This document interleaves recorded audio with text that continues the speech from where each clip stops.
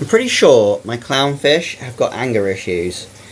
They have very recently started to be incredibly aggressive. This is my Fluval Shaker Aquarium. And it's kind of weird because it's the one tank that I have been most unhappy with for my entire aquatic career, if you can call it that. This has been the tank which has upset me the most. And not because of the tank. The tank's great, the cabinet's great, the equipment I'm using is fantastic, but it's taken two years to get anywhere like how I wanted it to be. And that's a little lesson in just being patient, I think, with marine tanks. But now it's settled down, we can see the big problem. No longer is the hair algae the issue, but just like in most tanks, these little orange and white stripy uh, beeps are starting to become their own sort of problem.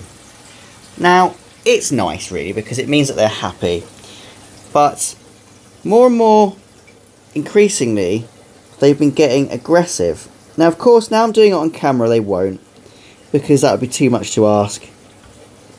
But you can see when I'm in here having a clean, this one will very often have a bite.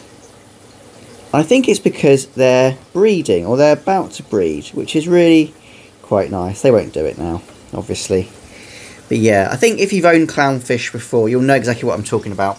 They can get quite aggressive. They are a damselfish, let's not forget. Oh, no way. Honestly. Oh my god. Right, so I didn't actually know that before starting the video. That the re the reason that they are getting aggressive is because they've got eggs. Oh my god, hang on, I turn my, uh, let me just sort something out. So that is incredible because this video was not supposed to be about clownfish eggs, but look! They are a proud mummy and daddy clownfish. That explains everything then, because I was cleaning this tank out earlier, and they kept biting me, I was like, oh my god, I hate clownfish so much.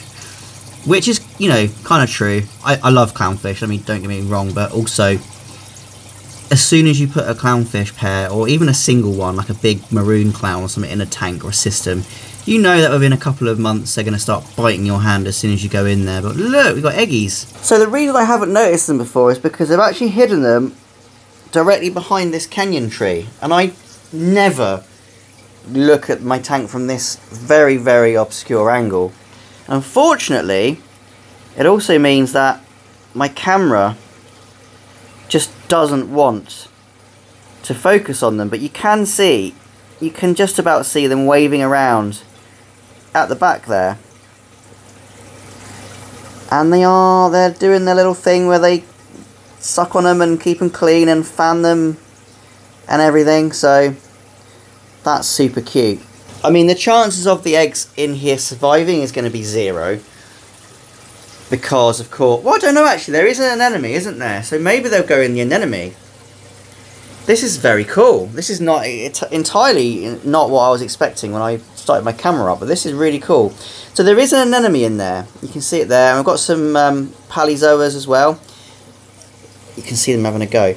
That might be uh, the answer. And they might survive in that anemone. Because they are very aggressively defending it.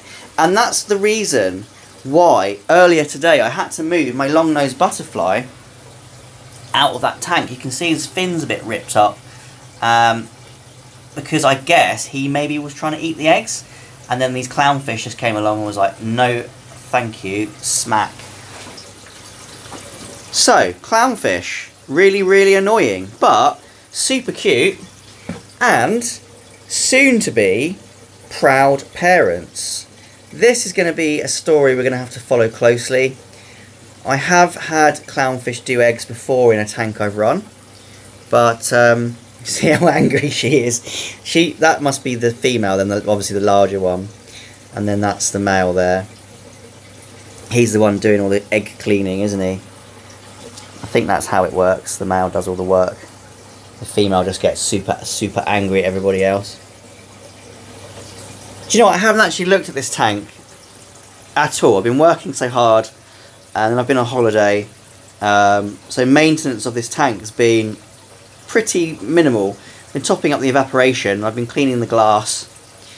Uh, and the whole purpose of this video was to be like, hey, look at my flea shaker that I do no maintenance on really, and it's actually looking really nice now. So maybe the secret to fish keeping is do absolutely nothing but the bare minimum.